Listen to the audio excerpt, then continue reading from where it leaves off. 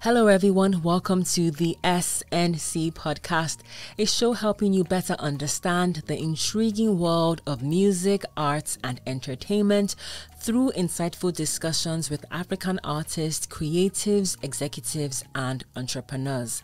I am your host, Fola Shade Anozie. My guest today is Adeola Akinmola, an entrepreneur based in Lagos, Nigeria. At the age of 19, she dropped out of university to start her food business, Corporate Ewa, an in demand virtual restaurant showcasing the versatility and variety of beans as a meal. Her virtual restaurant serves customers across various locations in Lagos, Nigeria. Adeola is also a programmer and business manager with over three years' experience selling solutions and developing new business areas. Hello, Adeola. Hi, hi. Welcome to the podcast. Thank you very much. You know, you know what's so interesting? I feel like about doing a podcast or just doing interviews is that when you send emails back and forth, I feel like you get if you feel like you know the person a little bit. So when you came up, when you when I saw you, I was like, oh, hi. so, and also, thank you for being early. I appreciate that. You're welcome. So how are you doing? Yeah, I'm very fine. I'm happy to speak with you because you have such a fascinating background. So, for people who don't know your background, can you just share briefly how you became a food entrepreneur? Okay, thank you very much for asking. I'm from a family of four, and um, I grew up in Lagos, you know. Did a couple of works after school, you know, trying to seek admission for a couple of years. And in the process, I got a job at a security firm and from that security firm, I felt like, okay, I need to go back to school. Not really go back to school, but to move away from my parents. And from that time, I was able to get admission into LASU. Getting to LASU, you know, there was no support, nothing. And I needed to make way for myself. And so I sat down, scrolling through my socials, and was wondering what I could do to, you know, make some money and then I came across a tweet from a friend. He was just seeking Ewa Agoyin, and this particular friend was even at um, Edo so I I saw the tweet and it just brought the inspiration to me. If someone at Edo could be looking for Ewa Agoyin on Twitter, so how much more people in Lagos? And so I decided to go online, try to search for any brand that actively does that. And I didn't find any. So I saw that this was actually an opportunity I could tap from and that was how it started. So when you saw that, you now said, hmm, this is gonna be an idea for me to start selling Ewa Agoyin. Yeah. So what what happened next? Okay, what happened next was how to get money to get started. And at that time, I didn't have anything. I didn't even take anything to school like every other student would. So I just thought, what did I have in my possession at the time? It was my school fee. Yikes. Yeah, it was my school fee. And so I'm someone that when I want something, I just go for it. I the consequences might not be something I would put my mind so much on at that moment. And so I just told myself I was going to start. I took the school fee, went to the market, you know, I went through YouTube and a few others to see what do I need because I my parents were not people that make it were going before. It was just something I came about along the line. You understand? So I just took the money, went to the market. I was LASU is in, um, I went to LASU. LASU is at um, Yanoba, and then I went to a market at Yanokwaja, still within the same area. And then I bought all that I needed. I bought small beans, I bought small pepper, bought some packs, and that was how I started. I did it that day. It was messy, but I took a picture of it with my Tecno phone, and then I posted online. Wait, so you know how to cook, right? Um, normal family food cooking. That was what I was doing back. So how did you know how to make ewa? You how did you learn how to make the ewa agoyin for on that particular day, or was it had you made it before? So I didn't make the popular ewa agoyin then. What I did was just what I thought was ewa agoyin. I didn't get it. But what I now did after is I did a few trials, trials, first day, second day, third day. But one thing is um the first one I made was not good. However, I still posted it. Got a few persons to order and then I delivered it to them like that. It was messy. I didn't need to be told it was messy. But the second day I tried again, third day. So later I realized that YouTube and you know all of those social media, what they were portraying as ewa agoyin was actually not the way it was made. So what I now did was I got onto the street and you know tried to speak to few sellers, those hawkers, and try to see if there was anyone who was willing to you know teach me. I saw one, you know, these people they they cherish their knowledge a lot and they would not want to give out their secret, but I was eventually able to get someone that was willing to teach me. I think she taught me for was it I paid her five k or ten k or thereabouts. The the woman she taught me, through, and um, I did it. I was able to get it. After a while, I saw that I wasn't getting the result I was targeting. I had to use the same method. Look for you know, and the way I approach them is this: I buy from them first after I buy from them, then you know we try to get along, and after that time, I try to tell them, okay, please give me your number. There's something I want to discuss with you. After which we just get into the conversation. So if they say yes, fine. If they say no, fine. I move on to the next person. So first of all, you paying the lady five five k or ten k at the time. Also, a great reminder that knowledge isn't free.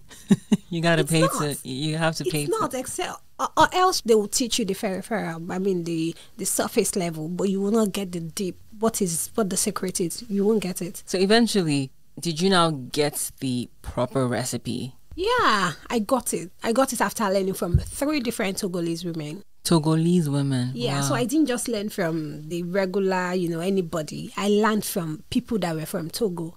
And even up to date, all the people that work with me that cook the meals, they are from Togo. Wow. What What is it about Togolese? Are they, is that where is that where Ewa Agoyin is It from? originated from um, Togo. oh. Even the agoyin itself is, is the name of the particular people that make the beans. This is so fascinating. I don't even really. It's I, I've never really had Ewa Agoyin. You know, so this is so fascinating. The most I've, uh, the closest thing I've had to Ewa Agoyin is Obedindi. So- but okay, so when business began to pick up, how did your parents react? Because obviously you use your school fees. Okay, firstly, I my father is late. He's been late since like since right up right before I even finished secondary school. So it was it's just my mom. The thing is, the money was my money because it was the money I saved from working as a security operative, and um, I didn't tell her outrightly. In fact, she got to know after I had done it for like six months. So I didn't tell her that I was going. No, nobody, no parents, no sibling would see. I mean, it doesn't make any sense at the beginning. So yeah, I didn't tell my parents. It was over time. They knew there was nothing, and I needed a way to support myself. And so yeah, they had no choice. Yeah. Wow. So did you have to drop out of school? Yeah, I did. Wow. Have you? Did you? Did you go back to finish your degree? Yeah, I'm currently running an a distant program. Okay. Yeah. No, that's that's amazing. See, it's, that's I feel like sometimes people don't really grasp the sacrifices that come with being successful, and like you said, going for what you want and quote and unquote damning the consequences. But there are consequences that come with pursuing what you love or what you're passionate about. So that's just I, I wish you the best of luck in getting that degree. I mean, that's amazing. so you. you now you are selling the things from school and you're advertising on social media from what you have explained, Yes, right? yes. At any point in time, did you consider having a full scale restaurant, like a physical um, place people could come and buy? Because what you do with Corporate Ewa, which is the name of your brand and the business that you run, is you ha- it's a virtual kitchen. Yeah. You people don't come to eat in the No, place. They, don't. order and then you, they order either they, you take it there or they come and pick it up, right? Yes, yes. At any point in time, did you consider having a full scale restaurant? Did that ever cross your mind? Okay, I would say I actually owned one. I owned one in the past, and then I saw that that was a mistake. It was a very terrible mistake. I think it was six months after I started in 2020. I I wanted the income to be consistent. If you have ever sold anything online, you understand that every day is not payday. You could sell today, and tomorrow it's like lesser, or you don't at all. So I wanted something that would be consistent, and so I felt maybe if if I had a walk-in where people could come in to eat and you know sit down and all of that, and that would change. So I think around um, October I opened the physical place within the student environment. You know, advices here and there. I opened the physical space, branded it, and it was so fancy. People came, but I saw that the people within the area were not my target audience because what they wanted in the area was the regular thing they get around 50 naira spoon of beans 100 naira spoon of beans and all of that. So when we started when i started operating that restaurant we were selling a plate of, you know, ewa bread for 300 and they still had difficulty buying it did they feel like it was too expensive or? Yeah for the environment because the environment. when we look at environment. it has a lot of influence on the business. So looking at the environment it doesn't even matter to them if at the end of the day the scoop they get when they buy 50 50 naira on is the same thing they will get if they get it. But the fact that you have tacked it you know 300 naira they they would rather go and buy the one they will buy and 50 50 naira. And aside that we branded the place in a way that it, it was not welcoming to them. It was giving them the the belief that it was expensive. When butter vibes. Ah, do you understand? So that was it. So we couldn't keep up. I knew that yeah this was not definitely going to work. Okay, so obviously you closed it down and just stuck to just being yeah, a virtual kitchen. Yeah, yeah. Okay. Now, in terms of, I want to just quickly talk about business registration. How did you go through that process? You know, registering the business as well as you know finding it. I mean, okay, you talked about the fact that you had a physical location, but you had to close it down because I wanted to talk about finding a location. Because from what I saw on Twitter, your business is in Surulere. Okay, the business has operated from about three different locations okay. now it started up from um, started off from um, Iyanoba, which was where LASU was. From there, I moved to Ikeja at a rented kitchen. From Ikeja, we moved to I moved to Surulere. It was after Ikeja that I saw that I needed to actually move totally away from LASU, and that was when I chopped off LASU. So from Ikeja, moved to Surulere. I was living, I was doing it from my own house then. And from that place, we moved to a location. We we were able to rent a you know mini flat to work from. And from that mini flat, we currently work with the full a, a full building at Surulere. That's fantastic. What about business registration? How did you go about doing yeah. that process? Okay, we registered the business. I think um since 2020 December. I knew that for you if if you if you always see the bigger picture of something then you should there's a way you have to authenticate it. You have to show that yes this is this is working. And so the registration was done um, i think it was done since december 2020 and then last year I saw that yeah, this is something I need to trademark. Did the trademark as well, and you know that was it. No, that's um, that's amazing because I feel like a lot of times, and it's a valid point though. A lot of people say that I want to start a business, but I don't even have money for registration. I don't even I don't even have money for trademark and all of that. And I guess because you had the resources, and you made a valid point about the fact that if you take something seriously you would put in the effort and the work that is required. So registering the business and yes. doing the trademark. Yes. Was it a lawyer that advised you or you just thought about it by yourself? Okay, for the registration, it's I think it was just a basically I looked and you need your you business did your registered. research, yeah. But for trademark, I saw that I was I wanted to grow um we want to go global. And First thing to do is you have to secure the name. The name corporate is already out there, and there's there's need for an extra layer of security. And so that was why I that was when we did. I, I spoke to a lawyer. I have a friend as a lawyer who has been working with me since like we started the business. So I spoke to him, and he did all of the process, and then yes, we got the trademark. Now, why the name Corporate Ewa? Okay, so I never wanted to be a business person growing up. I wanted to be the type that, you know, wear my suit, wear my stiletto, and then go to the office, blah, blah, blah. And then when I saw that the business world was just what I found myself in, I felt like, okay, I wanted to target the corporate audience. I didn't want to target the, I wanted the middle class and the upper class. Upper class. And so I how do I basically corporate world? I wanted to target the corporate world, and so that is where the corporates came in, and then the Ewa is from Ewa Agoyin. So that that is just how the name. Pretty simple. And for people who are listening, I should definitely let you explain what Ewa Agoyin is, because people okay. are like, what does that even mean, or what is what does that taste like?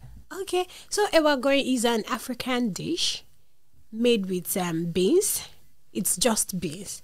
However, what makes it different from the regular beans is the method of preparation. Because with the method of preparation, makes the beans very soft, like very, very soft. And then the sauce is specially prepared. It is not prepared like the regular stew sauce and all pepper sauce and all. It is it is regularly prepared with its own recipe. So that's what makes it special. Do you understand? So is just um, beans and the Agoyin sauce.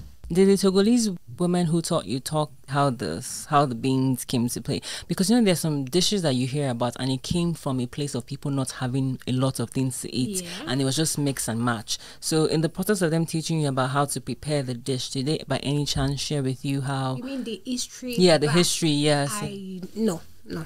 Okay. They never did Oh, actually. okay, yeah, I should probably ask them. It just it'll be interesting to all I've heard so far was it was just like a when when it becomes a family business and then the family grows into a large community and all. So that was just all they said about it. Well, hopefully you do more research about that. what about in terms of finding clients? Because you talked about the fact that for Corporate Ewa you were targeting the middle class and Yeah. the upper class. Yeah. How did you go about finding these people?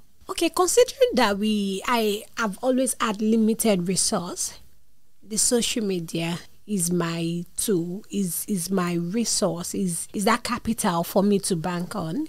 So I've always used social media heavily to drive traffic. And it's easier for me to get across to 50,000 persons with just, you know, maybe 30k ad or let's say 20k ad but it's it's going to be very difficult for you to do a physical walk and try to connect to 50,000 persons. And the kind of pe- people I'll connect with if I do a physical walk within my community is different from the kind of people I can access with social media. We've delivered to a number of celebrities. In fact, I cannot name them all. If it were, you know, physical and all of that, I would not have access to them. But with social media, I bank on it all the time through ads, sponsored ads, referrals, and all of that. You know, we keep pushing ourselves out there on social media. All right, great. Now, what's a typical day like for you at work? Because obviously, a typical day, I keep, you know, a lot of times I ask that question, and I know that there's no typical day for lots of people. But for you, Adeola, what's it say? okay, let's not say typical. What's a regular day like for you at work? Okay, so lem- let's just say my day daily life. A day in the life of Adeola. Okay, I wake up in the morning. go ahead, go ahead, go ahead. I wake up in the morning, open my phone to check messages, calls, mails. That's the first thing. I pray. Oh, I pray first. It's okay. I pray first, and after the prayer, I go on my phone to check if I've missed anything. I check the socials, I check everything to be sure that I'm not missing anything. Also, I check on the staff, the handlers, to be sure that the, we do not have any issue online. You know, all customers are being attended to. And after that, I get to the office, check around. Is everywhere clean? After that, I check the kitchen, spend some time with them to be sure that things are going as they should go in the morning because we have to be sure that by certain time this meal is ready. These orders that has been made, are they out? Speak with the staff and everybody. Once they are out, you know, in the afternoon, I try to take content. I take content from my phone too. I post them out, you know, of course, for others to see. After that, I wait till 5 p.m. so I can go back and sleep. No, that's that's really that, that- I love that idea in the life. You touched on the point of reaching out to your staff. Now, Yeah. two questions that I forgot to ask you. How did you find the cooks and the staff? For the staff, did you use a company to find them? And for the cooks, how did you how did you find those people? Okay, I do not use companies. I speak to these people directly. One staff brings the other. That's the way we've always worked. The first staff I had was through the neighbors, you know, I spoke to neighbors and all of that because we do our things the traditional style. We do not just go and get one chef that went to one fancy English school to cook. No. No offense a chefs who do that. Sorry, no offense, but we use the trad. We prepare in the traditional style, and so we need to use these people who prepare it in the traditional style. And so the method to getting them is we speak to, you know, I speak to neighbors, maybe the cleaners, speak to them. Do you know somebody that cooks so so thing? So when they say they know, invite the person to come and prepare a sample, you know, test the person and all of that. That was how I got the first person, and then the first person I just told her we needed someone again. And then she spoke to this this this this. That is how we've gotten all the people that work with us. That's great i mean the cook. But Yeah. when you now talk of the um the regular staff linkedin basically. Okay, that's really cool. Now, I saw that you have expanded your menu because Corporate Ewa, obviously, like you said, about beans and it's about showcasing from my understanding and your mission, the versatility of what beans can be as a meal, right? Yes. But you have expanded your menu now to from beans specific meals to other African meals such as Yeah. tapioca. I haven't had tapioca in like I saw that I was like, oh, that's cool. so you expanded to tapioca. You now have jollof rice. You now have um, white soup, Yeah. afang soup, edikang ikong, Yeah. and some other types Yeah. of dishes. I think I saw one. There's one beans. Is it? Is it?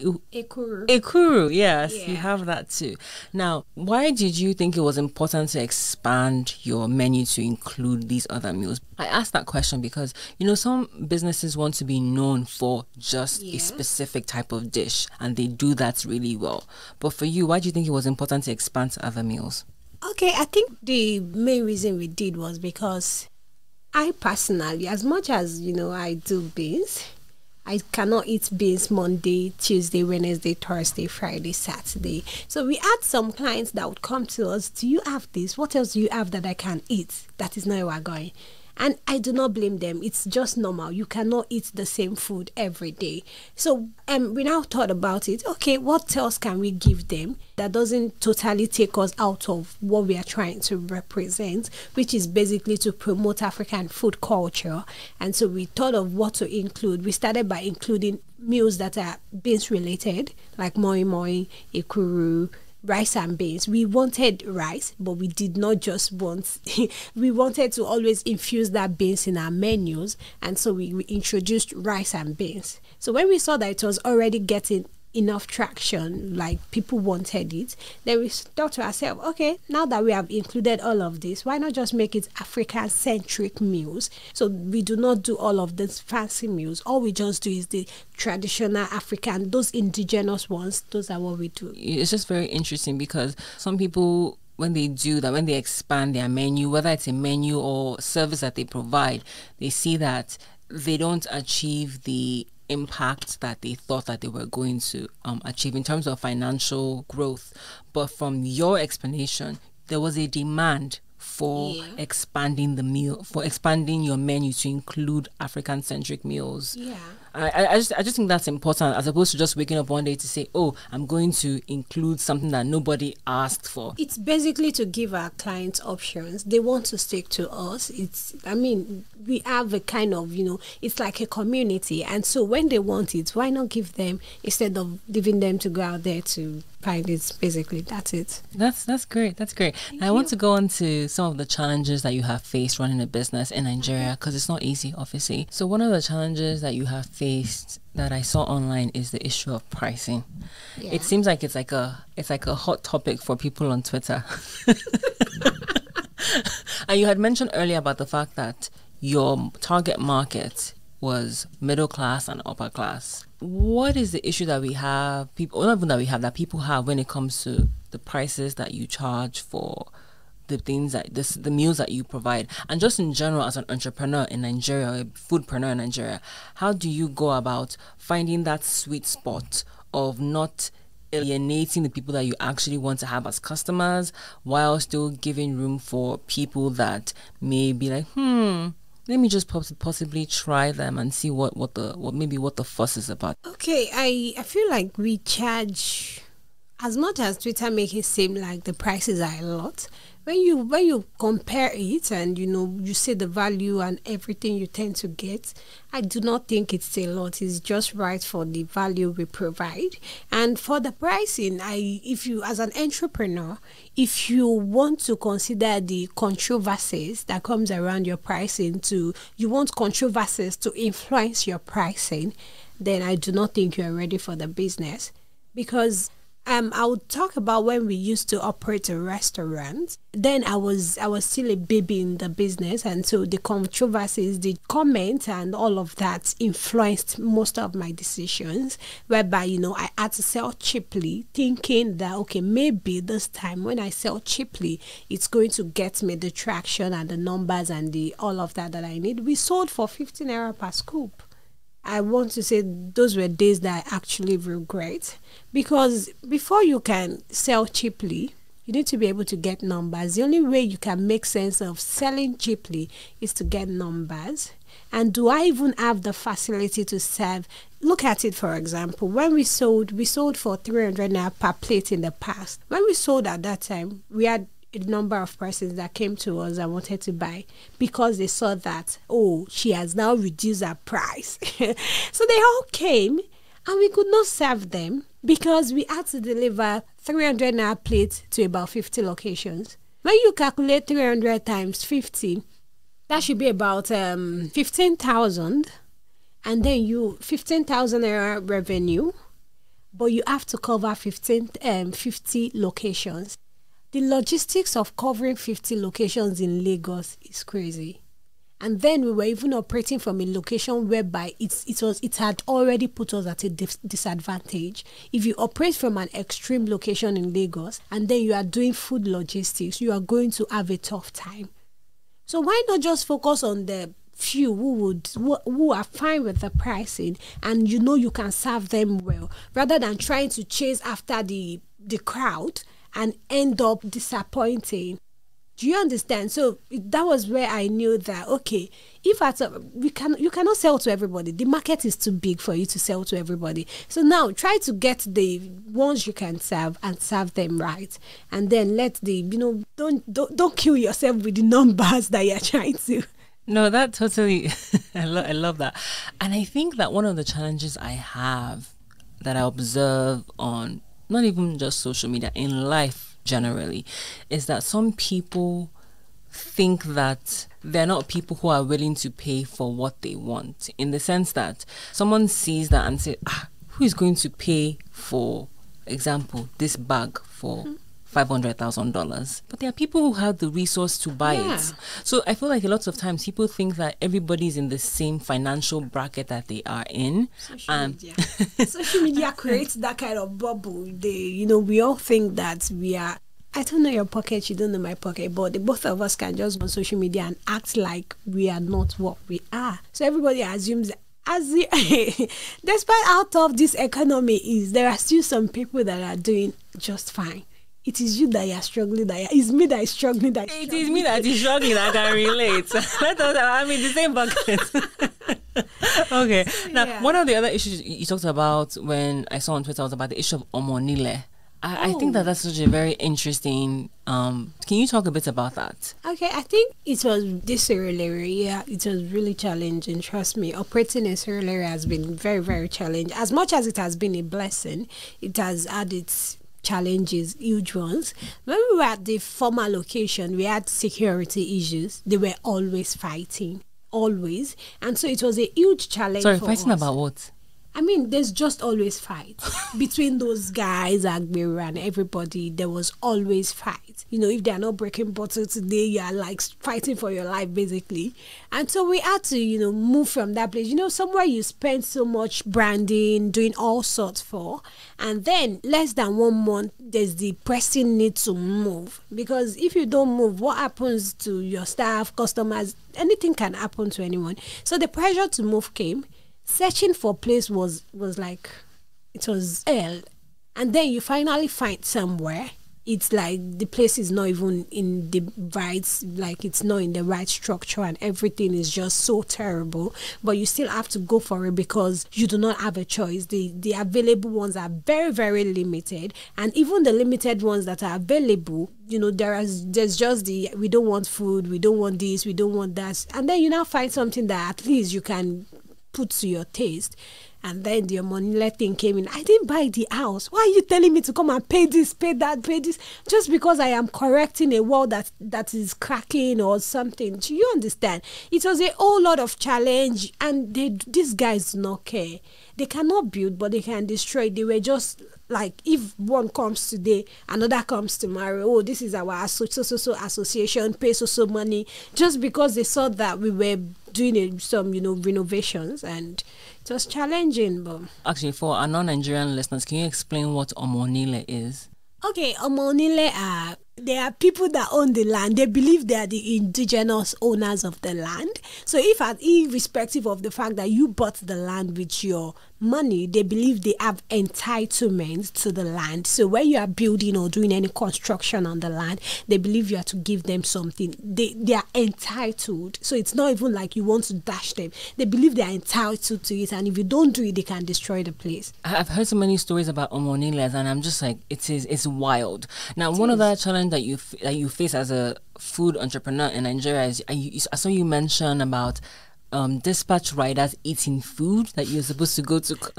because I'm like, wait, what? So can you just speak briefly about that? I, you know, there's in this in this business there's just so much to you experience daily i think i think the the last one was with you know one of those riders carried food you know he did I, I think he did even try to reach the customer and he claimed the customer was not responding and he took the food home uh, Wait, so what was the?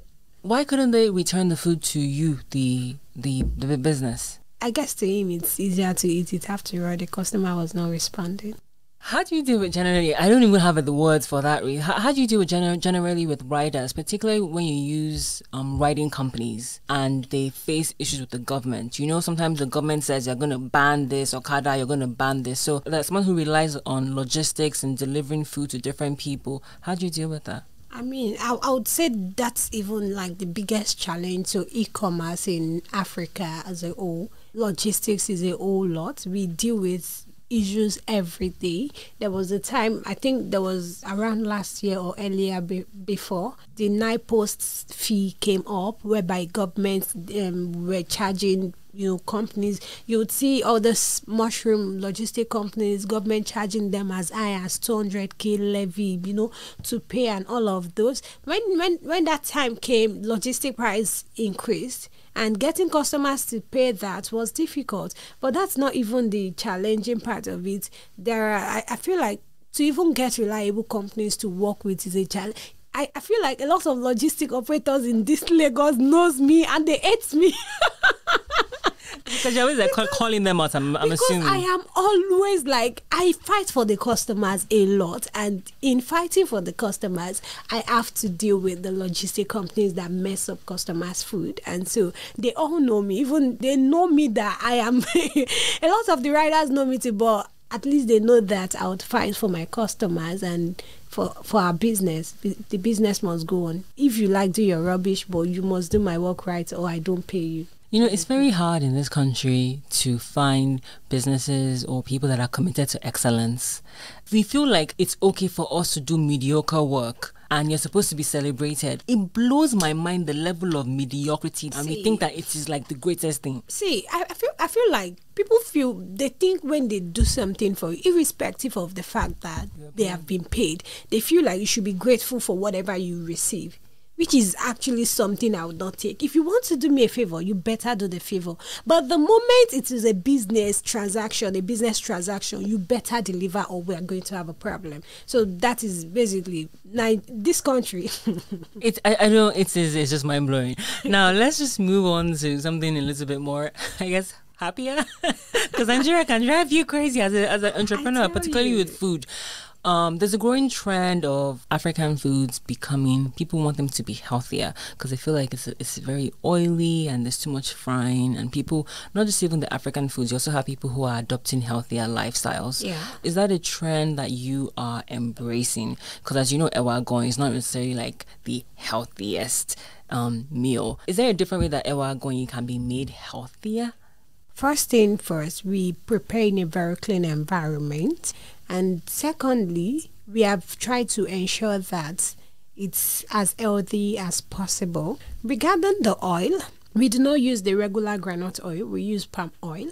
And aside that, we now have customers who request for oil on their food to be lesser. And so we try to ensure that the oil in each meals are less. But aside that, I feel like African meals are healthier than we make it to seem because all of the processed meals that that is eaten in the Western world has adverse effects on their health. But when you look at several of African meals, the major challenge that might be posed at it is maybe it's prepared in a, in a dirty environment or it's too oily. All our meals are basically like fresh from farm the beans. There's nothing like processed canned beans or something. The what is it called? Um, what else do we eat again? Vegetables, Yeah, everything vegetables. exactly. They are not processed, and if you if you check carefully, processed foods has um lots more damage to the health than the naturally grown ones. So I feel like Africa is on the right path. What we just need to work on is the environment in which these meals are prepared and also reduce the oil quantity. For us, particularly, we do not, funny enough, Ewa Agoyin does not even, I, I feel like it's healthier because there is no Maggi, the sodium, and the, the salt is a lot lesser. And aside that, there is no other thing that is used except natural ingredients. When you talk of beans, you talk of ginger, garlic that are natural. We do not even use the processed ones, we use the seed. So we can say, yes, it's an LD option. Okay. Now, what is the next phase for Corporate Ewa? You talked about, you know, you expanded your meals to accommodate clients who are customers who are asking you for more things. You still run a virtual kitchen, but let's just say the universe aligns and you get this ton of money to do whatever it is that you want. Do you do you eventually want to have a full scale kitchen or are you just gonna go with that virtual kitchen? Okay, we do not have it in our plan to have a walk-in kitchen. No, it's it's not part of the agenda at all. Okay, currently we are about lo- launching a subscription model whereby That's amazing. customers now subscribe Like to Hello Fresh, all these do you understand? So we are trying to launch that in the next one month or thereabouts. So it will be launched. But aside that, if the if there's a big break, I think we'd want to consider the UK opening up in the UK, operating in the UK. You know, all of that because you when you look at it carefully, a lot of Nigerians have moved there. So we need to move with them. We need to provide what um you know we just need to provide what we, they used to access here. So then we have a lot of clients that has relocated, and so it wouldn't do us any harm to get there with them. As you have said, you always saw Corporate Ewa going global. So yeah, definitely. It is. I love it. I love it. As we wrap up and go on to the fun random questions, what advice do you have for young entrepreneurs, particularly food entrepreneurs in Nigeria and also on the continent, who are trying to pursue their passion of open either opening up a restaurant or running a virtual kitchen? Um, I think my advice to them will be, even if you will not be the one to cook these meals, know the rudiments, know how these things are done, and because over time, as we have progressed, I feel like I have benefited more because I know how to do every single thing that goes out of our kitchen, goes in and goes out. So when a meal is bad, before it even gets to the customer, I already know that this meal is bad. I can tell of the quality of the meals. And another thing, staff can be something else. Do you understand? So I feel like none of our staff can decide one day that okay, they want to threaten me with, okay, I'm leaving or blah blah blah. There is nothing you're doing that I cannot do. I just chose to, you know, outsource because there's a level you get to that you you don't have to think of how the business progresses while others do the, you know, physical works. I love that. No staff can threaten me because sometimes you see some entrepreneurs and they think that doing certain tasks are beneath them or be like, this is so not for me to do. Like, I'm, I'm too high up there. But you have to learn the ins and outs of the business that you're running. That is exactly what you're yeah, saying. Yeah. Okay, great. Now let's go on to the fun random questions. Are you ready? okay. So the first question, oh, actually, before we go into the fun random questions, quickly, what can the Nigerian government do to empower food entrepreneurs and increase their chances of, of success? Okay, the first thing they should do is they should provide cash. cash scarcity has given me so much headache through this last month. I mean, serious headaches. It's it's so sad. I'm, I'm, I'm we are like spending double. So they should please provide cash.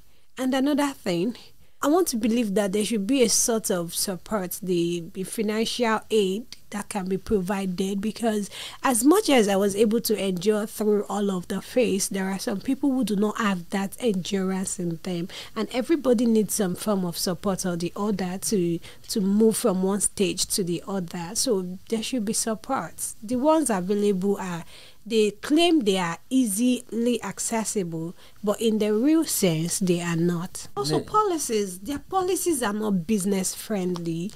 it's like they bring in policies every day and then they expect you to just navigate your way through it. So you are like every day there's there's one policy and then the next day you are finding a way to just basically it's difficult. It's difficult. Yeah, I, I think sometimes in Nigeria, for example, lots of people that claim to be government officials or leaders, they forget that these small businesses a lot of time are the lifeblood of what keeps the economy yeah. running. Like yeah big businesses and all these billion dollar companies they serve their purpose or billion naira companies they serve their purpose. But if you ignore the small, small businesses, businesses those, the small businesses are what keeps like it's not everybody that has access to the billion dollar. We employ you know all of us we employ you know we have people working with us and that is how we are able to drop the it's not everybody that has these degrees and all of that. We keep the the how would i call them? The less educated we employ them and that is how we are still able to keep some of them away from crimes and all of that totally agree thank you for that insight Adeola now but we're going to go into the fun random questions i'm sure you're ready because you're drinking water to get your mouth all ready to answer okay so first question is what is your favorite meal from your corporate Ewa menu? Ekuru. No, I, I love it so much actually. That's like I eat it. I think have I eaten it this morning? I think I am. that's good. Yeah, that's, that's good. It. Okay, second question. What does integrity mean to you? Okay, integrity means being transparent. I mean when it's when it's A, say A. Even if there's a gun to your head, I know it can be difficult, but please say A. I've I've had to deal with so much so much with people not having integrity. It just makes my life difficult. So please just be say the truth. Just say the truth. Nobody's going to beat you. Third question is what are two things people may not know about you? um, I don't know, but okay, I think is it not known? I think it's known. I I used to be a very very lover, a, a huge lover of mathematics. Like I I used to think I was going to become one professor, of, you know, taking math and all that, but look at me. and I know that dude. So you I like, like to make money actually. I like to make money. So you're an entrepreneur, so you should. okay. All right. Fourth question is who or what is your biggest inspiration? Hmm. Would I say it's me, the past me? I used to have someone who inspired me in the past, but I saw that over time there was just a part of them that I didn't that, that wasn't suitable to me, and then I saw that maybe I'm just my own inspiration, like my old me. When I think of the past and then compare it to the present, I feel like yeah, that's it for me. Final, final question. If you had the chance to jackpot from Nigeria, would you take it? And if yes, what country would be your first choice? Okay, I'll go to the UK. you can't be doing Corporate Ewa from there because you cannot come back yourself in Yeah, I feel like it's home away from home. That's like the place where you find the highest number of Nigerians aside um, Texas, US. The UK is like home to Nigerians. So I want to go to a place where I'll feel at home. So yeah, the UK first. Okay, that's great. That's great. Now, Adeola, any final words you'd like to share before we wrap it up? Just do whatever you want to do that is legal and be consistent. I feel like the price is in the consistency. I remember asking you how long you started. I wanted to know how long you you've come to get to this place and from there I can tell that you're willing to go as long as possible. So the same thing applies to me. Whatever you find yourself doing, just keep up at it. It's that's that's what makes the difference. Great, great, great. And um, for people who want to know more about Corporate Ewa or possibly okay. order from you, can you share more information on how okay. they can do that? Yeah, if you want to reach out or um, do anything, just go across any of your social platform and type at Corporate Ewa. Once you search at Corporate Ewa, C O R P O R A T E E W A, you find all that you need. Adeola, thank you so much for your time. Thank you too. I enjoyed the session. I'm glad. I'm really glad. Thank you to Adeola Akinmola. If you enjoyed this episode, please take a few minutes to rate us on your preferred podcast platform. It helps us get discovered by more people. Thank you so much. This episode is produced, edited, and mixed by Folashade Anozie. The show is powered by Nonconform Productions, and our theme song is by John Akinola. You can check out the podcast on Instagram, Facebook, and Twitter at the SNC Podcast. Thank you for listening.